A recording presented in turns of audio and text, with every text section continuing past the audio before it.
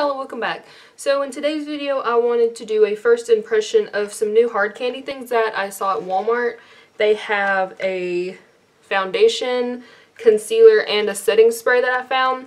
They've also come out with a lot of new things, but these are the ones I wanted to try the most. These, don't mind my hair, I just got out of the shower and it's air drying. So anyway, I have my receipt right here and I'll tell you how much everything was.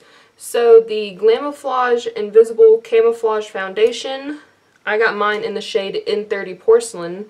Um, this was $7. The next thing was the Sheer Envy Eye Brightening Concealer. It just says 10 beauty benefits in one. And that's what it looks like. It reminds me of like the... I know Maybelline has one where it's like a little brush and you just brush it on your face. And so I wanted to give this a shot since obviously I don't use Maybelline.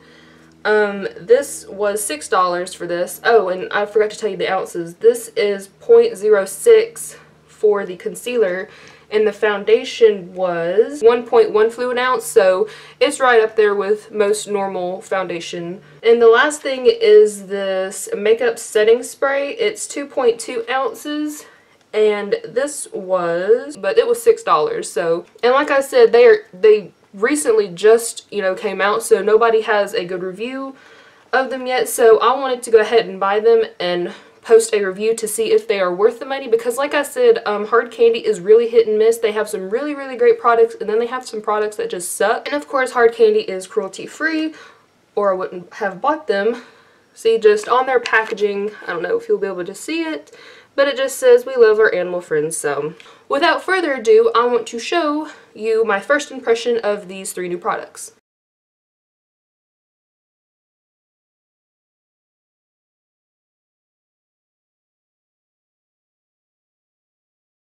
And then I just let those primers sit and marinate on my face. I'll have some tea in the meantime. Alright, now I use my George's aloe spray. I just put this on before I put foundation on, whatever foundation I'm using, because I don't know why, but my skin's been particularly dry.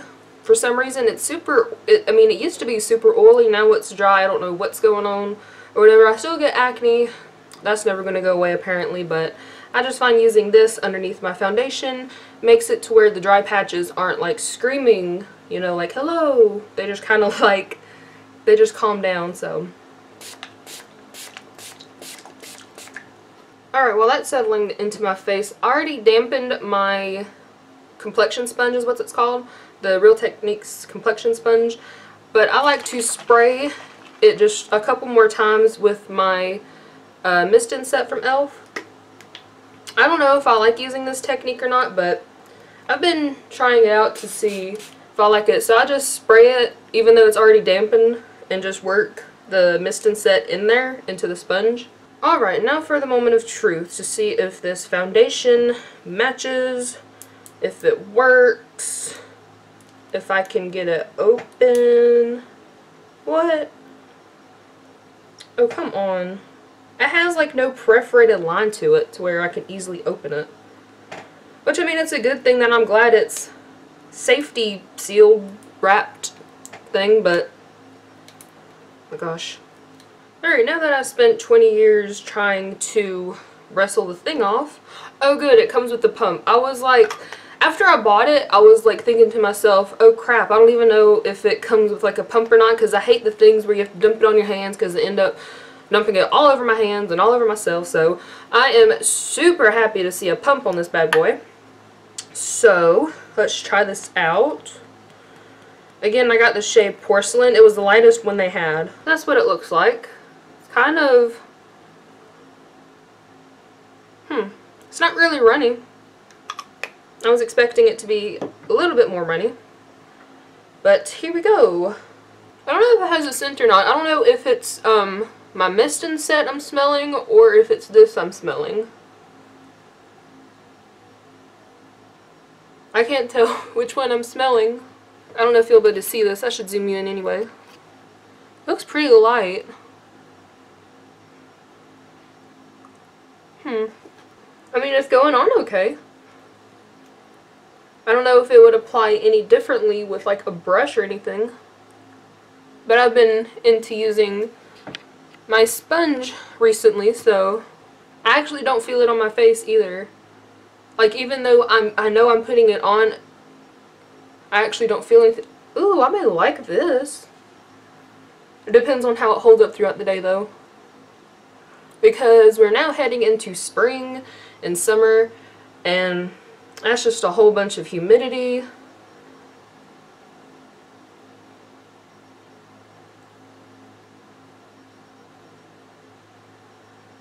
Another thing I like about this is for being so light, it doesn't have a weird undertone to it. Like it's not yellow, it's not orange, it's not pink. It's just a nice light color, which I find so hard to find in any brand, whether it's like drugstore or, you know, I've seen people with high end and it looks really orange. This actually looks pretty good. I would say the coverage is about light to medium at first. Well, no, I'm going to consider it more of a medium coverage foundation, but it's easily buildable. Like I'm putting an extra layer right here, and it's not like caking up or anything yet. so obviously it's not covering like my really bad acne breakouts that I have or up here, but for an overall appearance, it actually makes my skin look pretty good. I, I never can find a foundation that I like that can cover up my hormonal acne. It covers up like any small like little tidbits, but I'm actually really enjoying this foundation. It actually matches me really well. I was afraid it was going to be way too light, but it actually goes on and matches me very well. So that's what my face is looking like at this point. I wanted to read you the back of the foundation to see about its claims or, or whatever. It says, a transforming liquid powder foundation that absorbs oil, camouflages imperfections, and delivers a long-lasting velvet finish. This skin perfecting fluid contains a superfine or contains superfine pigments for seamless full coverage without looking caked on. Infused with kaolin clay for exceptional wear and oil absorption, Skin retains natural moisture for 12 hours of flawless perfection and transfer resistance. Pairs perfectly with our Glamouflage concealers for extra covering power. Um, for the velvet finish that it says, it, it really is that. Like, I don't even feel like I, it doesn't look like I need a powder, but I always have to set my face anyway because my face always like to move and everything. And especially with our weather, when it's more humid here, no matter what you wear, you always got to have a powder on. Um, as far as absorbing oil, I think it did a pretty good job of that because I'm typically oily just right here throughout the T-zone like most people are and I'm dry everywhere else so it actually looks like it did a good job of doing that. Like I said, I'm going to have to wear it throughout the day and see what happens. And it actually does give you full coverage when you layer thin layers. I wouldn't go in there just heavy duty coverage right away. But building it up is going to give you that less caked on look. And I don't look caked on for all that I put on my face, I don't look caked on, which is amazing because some days you really need coverage, but the more you keep building, no matter how well you do it, it ends up looking cakey, and I don't like that, so this actually does a pretty good job of doing that as, as well. So like I said, I'm just going to have to wear it throughout the day and see how it wears, but this is what it's looking like so far. I still have to use the eye brightening concealer it says 10 beauty benefits in one. It says reduces puffiness, diffuses shadow, softens wrinkles, evens skin tone, eliminates dark circles, blurs line, brightens, conceals, corrects, and lifts. That's a mouthful. Um, I got this in the shade 938 Radiance. They had a couple others, but once again, I got the lightest one they had. I'm hoping this isn't so bright because I'm already pale as it is. I don't want to put anything too light on. I'll read you the back of it first. Um, instantly brighten the eye area and diffuse dark shadows while reducing the appearance of fine lines and dark circles. This Wonder Pen contains 10 beauty benefits in one and helps ease signs of fatigue for a refreshed, radiant complexion. The medium coverage formula is infused with our unique Sheer Envy Primer Complex for all-day wear. The brush applicator ensures seamlessly blendability to conceal imperfections. That's what the brush looks like. It's pretty sturdy. Maybe it'll get the job done. So that's what it's starting to look like now that I've, oh whoa, oh I thought it was spilling over but that's what it's starting to look like now. So let's put this on. Oh wow.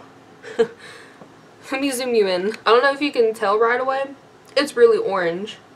Like, oh my goodness. I was going to put it all like in the triangle, but I'm not putting this all over my face. So, I mean, I can understand if it's meant to be like a corrector. Well, it did say dark circles, right?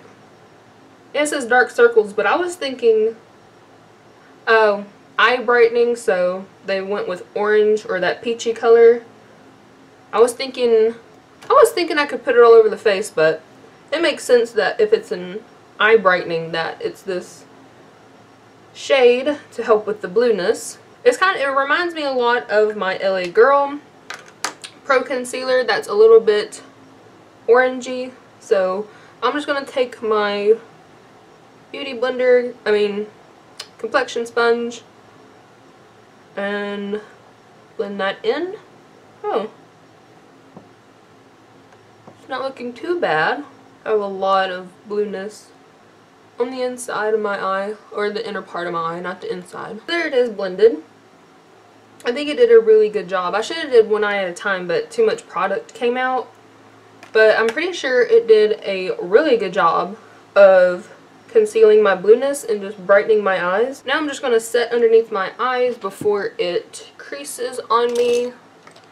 So I'm taking my Real Techniques setting brush and I'm using this Be a Bombshell Smooth Criminal Powder. I'm just taking a bit of that and putting it underneath my eyes.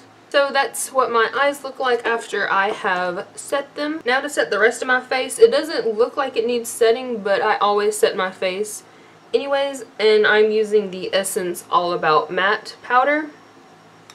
And I'm taking that on a e.l.f. complexion brush. And I'm not going heavy with it. I'm just setting it slightly so it doesn't move off my face. This is what my face is looking like after I have set everything.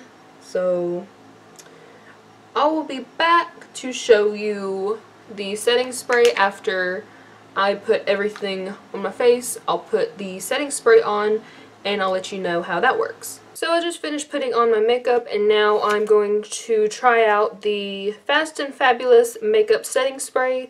It says a weightless spray that locks in makeup for all day wear. Spray over foundation, eyeshadow, blush, and concealer to set your makeup look.